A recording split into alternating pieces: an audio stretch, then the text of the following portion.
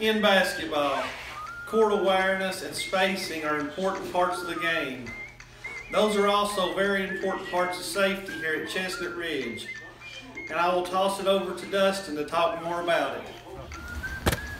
First, it is important to only operate equipment and do tasks you are trained and authorized to do. If you're unsure about it, ask for a supervisor.